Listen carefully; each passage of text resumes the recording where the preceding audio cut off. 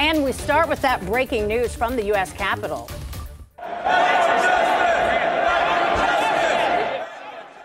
Ohio's 3rd District Congresswoman Joyce Beatty has been arrested. She was placed in plastic handcuffs not too long ago during a demonstration in Washington, D.C. Thanks for joining us at 5. I'm Yolanda Harris. And I'm Andrew Kinsey. 10 TV's Angela Reichert is here. Angela, you've been looking into this, into our understanding. This was a planned event. Oh, yeah. We knew this was happening to an extent, right? We knew that there was this national voting rights march. I want you to listen to a little bit of that march.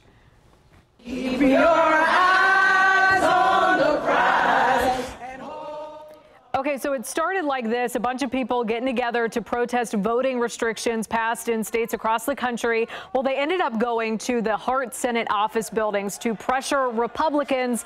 And then that's when this happened. You can see it there. Yes, video of Capitol Police arresting the Congresswoman. You can see her there with those zip ties around her hands. Representative Beatty was actually one of nine people uh, taken into custody. She then posted this picture on her Twitter account saying, let the people vote, fight for justice. So it looks like this was something maybe she knew was planned, right? We didn't know it, but we knew the event was happening. She did just post on Twitter like not too long ago, hashtag good trouble, good trouble. obviously making a nod, Andrew, there to uh, uh, Representative, um, oh gosh, uh, why is it, uh, John Lewis. John yes, Lewis, who, yeah. who's a good friend of hers. Good friend of hers, and as you know, John Lewis, and uh, to follow in the steps of Dr. King, they all did this type of uh, demonstrations, protests to bring attention to issues fight, facing their communities. And this is yeah. one um, not only facing uh, the U.S. in Washington, but also here in Ohio and Texas. Mm -hmm. And, and the representative here uh, voicing her frustrations with that. The voting rights, yep. yeah. yeah. All right. Well, thank you, Angela. Thank you.